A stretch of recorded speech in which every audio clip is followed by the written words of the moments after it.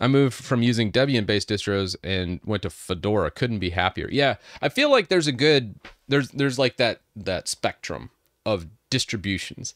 You have uh, for desktop distributions for just normal users. I would say there's Debian, which is more on the stable side of things and kind of like the tried and true. Most guides are written around it, more more newbie friendly, I think. And then you have Fedora, which is a still a stable release, but it also has much newer packages than Debian. It moves a little faster. The kernels constantly update, so the kernel never really stays the same. So you get a little bit uh, newer stuff and then you move to Arch, and Arch is obviously your bleeding edge where everything's brand new. As soon as something's patched and released, within a week, it's probably going to hit the Arch branch. So there's that spectrum, and depending on what kind of user you are, you might be a Debian user, you might be a Fedora user, you might be an Arch user. But I feel like those are the three main distros that everyone should try when coming to Linux, and depending on where you land in it uh, that's that's kind of my thought process when I when I think of um, choosing a distribution. It just depends on what my goals are. If it's gaming and that type of thing, definitely like a Fedora or Arch would be my uh, my suggestion. But if it's more productivity based, more business oriented, obviously I'd lean heavily on Debian. Uh, it just like I said, it depends on what kind of user you are, and that's that's kind of where I'm at.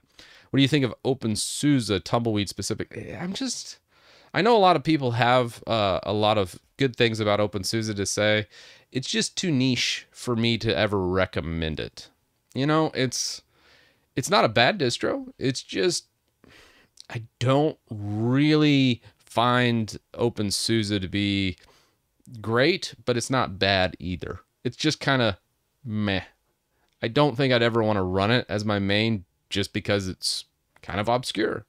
And it's kind of where I'm at. Like I said, I'd stick to those three that I labeled, even though I know there's a lot of people that do really like OpenSUSE. What's your opinion of Kali Linux? Is Debian testing based? Do a minimal uh, install of it and build it up? I mean, why not just use Debian? Why not just use regular Debian testing? Why would you choose Kali Linux unless, I mean, Kali Linux to me is just like someone in the getting into the security realm but doesn't know a lot about Linux. So they're just kind of want a good tool set to to break into some of the uh, security aspects of you know becoming like a security researcher or something like that, uh, or an ethical hacker. Uh, that's the, who the Kali Linux crowd's for. It has a good tool set for that that niche, but if you actually know Linux, like why bother with Kali? You would just install Debian and then toss your Metasploit and um, I forget what the other tool set is that Kali Linux gives you. Um, it's been a while. I, I, don't do much ethical hacking, so I couldn't tell you.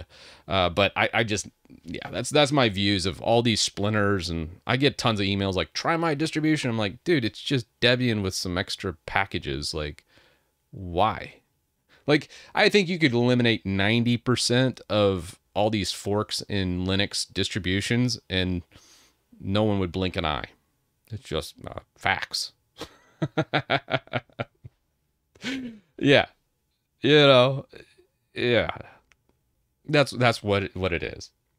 And you know, it's it's fine. Like like I said, distributions all they really are is a package manager. So is it using apt? Is it using zypper if you're OpenSUSE? Is it using DNF or Yum if you're doing a RHEL-based distro? Is it using Pacman or the Paru Yay for Arch-based? You know, that's the package manager. And then when you get into the actual meat and potato of the, the distribution, all it is is just a culmination of decisions that have been made for you in in packages that are installed with the package manager Okay, did you you gonna go KDE or are you gonna go GNOME for the desktop environment? Okay, pick that for you. Do you want to go with this? That's all distributions are in Linux. It's just someone making those decisions for you because you just don't know what decisions to make. So when some people distro hop, a lot of times they don't even understand this, and it drives me crazy because it's like, dude, you went from like elementary OS to Pop OS It's the same damn thing, just with a different desktop environment. It's the same package manager. You literally could have uninstalled that desktop environment, install it over here, configured a couple things differently, and it'd be the same. It's like so maddening that people think Linux distributions are so different. They really are not different.